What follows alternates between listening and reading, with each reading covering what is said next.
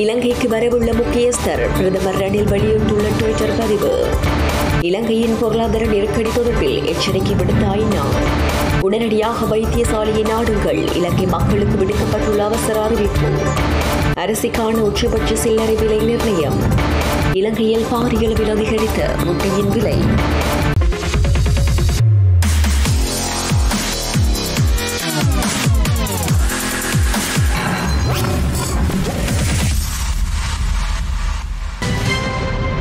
உலக உணவு திட்டத்தின் தலைவரிடம் பேசி அவரை இலங்கைக்கு வருமாறு அழைப்பு விடுத்ததாக பிரதமர் ரணில் விக்ரமசிங்க தெரிவித்துள்ளார்.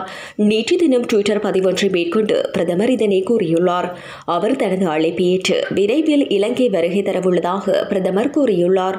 மேலும் உலக உணவு திட்டம் எமக்கு அளித்த அனைத்து ஆதரவுகளையும் நாங்கள் பாராட்டுவதாக பிரதமர் கூறியுள்ளார். இலங்கை எதிர்கொண்டுள்ள முன்னொரு போதுமில்லாத பொருளாதார நெருக்கடி மிக மோசமான மனிதாபிமான நெருக்கடியாக மாறலாம் என ஐநா எச்சரித்துள்ளது. இது முழுமையான மனிதாபிமான அவசர நிலையாக மாறலாம் என நாங்கள் கவலை கொண்டுள்ளோம். இதற்கு தீர்வை காண்பதற்கான நடவடிக்கை எடுத்துள்ளோம் என ஐநாவின் மனிதாபிமான முகவர் அமைப்பான ஓசிஎச்ஏஎன் பேச்சாளர் ஜென்ஸ் லார்கே தெரிவித்துள்ளார். பெருமளவு மக்கள் தற்போது போதிய உணவு இல்லாத நிலையில் உள்ளனர் என தெரிவித்துள்ள அவர் குடும்பங்கள் மருத்துவ சேவைகள் பாதுகாப்பு மற்றும் சிறுவர் கல்வியை பெறுவதும் கேள்விக்குரியதாகியுள்ளது என அவர் தெரிவித்துள்ளார். இலங்கை மக்களிடையே இந்த நாட்களில் ஒருவருக்கு காய்ச்சல் உடல்வலி போன்ற அறிகுறிகள் தென்பட்டால் உடனடியாக வைத்திய ஆலோசனை பெறுமாறு அறிவுறுத்தப்பட்டுள்ளது. தேசிய தொற்று நோய்களுக்கான மையத்தின் பிசியோதெரபிஸ்ட் வைத்தியர் ஆனந்த விஜய விக்ரம இதனை தெரிவித்துள்ளார். வலி நிவாரணி மருந்துகளை உட்கொள்ள வேண்டாம். இதற்கமைய ஒருவருக்கு காய்ச்சல் அல்லது உடல்வலி ஏற்படும் பட்சத்தில் பெரசிட்டமோல் தவிர வேறு எந்த வலி நிவாரணி மருந்துகளையும் உட்கொள்ள வேண்டாம் என்றும் விரைவாக இரத்த பரிசோதனை செய்து கொள்ளுமாறு வைத்தியர் அறிவுறுத்தியுள்ளார். உடனடியாக வைத்தியசாலை நாடுமாறும் மக்களுக்கு அவசர அழைப்பு விடுக்கப்பட்டிருக்கின்றது.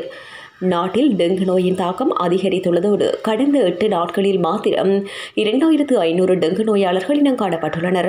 கொழும்பு கம்பஹா களுத்துறை கண்டி காலி யாழ்ப்பாணம் ரத்தினபுரி மற்றும் கேகாலி ஆகிய மாவட்டங்களில் அதிகளவான டெங்கு நோயாளர்கள் பதிவாகியுள்ளதாக தேசிய டெங்கு கட்டுப்பாட்டு பிரிவு தெரிவித்துள்ளது.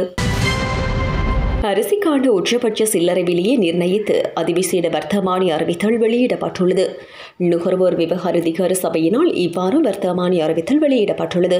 அரிசியின் விலை இதற்கமைய சிவப்பு மற்றும் வெள்ளி நாட்டரிசியின் உச்சபட்ச சில்லறை விலை இருநூற்று பத்து ரூபாயாக நிர்ணயிக்கப்பட்டுள்ளது. அத்துடன் இந்த விலைகளை விட அதிக விலைக்கு அரிசியை விற்பனை செய்பவர்களுக்கு எதிராக கடுமையான சட்ட நடவடிக்கை எடுக்கப்படும் என தெரிவிக்கப்பட்டுள்ளது.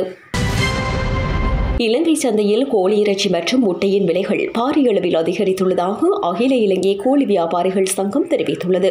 மக்காச்சோள தட்டுப்பாடு மற்றும் மூலப்பொருட்களை பெற்றுக்கொள்வதில் ஏற்பட்டுள்ள சிரமம் இந்த நிலைமைக்கு காரணம் என சங்கத்தின் தலைவர் அஜித் குணசேகர தெரிவித்துள்ளார். விலங்கு தீனிக்காக கடந்த வருடம் முன்னூறு மில்லியன் டாலர் தேவைப்பட்டது. இவ்வாறான நிலையில் மாதாந்தம் முப்பது மில்லியன் டாலராவது விலங்கு உணவிற்காக வழங்குமாறு நாங்கள் கேட்டுக்கொள்கின்றோம் என அவர் கூறியுள்ளார். தற்போது சந்தையில் முட்டையொன்றின் விலை ஐம்பது ரூபாவை எட்டியுள்ளதாக தெரிவிக்கப்படுகின்றது. கோழி இறைச்சியின் விலை அதிகரிப்பு இலங்கையில் பாரிய அளவில் அதிகரித்த முட்டையின் விலையாக கருதப்படுகின்றது. மேலும் ஒரு கிலோ கோழி இறைச்சி ஆயிரத்தி இருநூறு ரூபாய்க்கு மேல் விற்பனை செய்யப்படுவதாக குறிப்பிடப்படுகின்றது.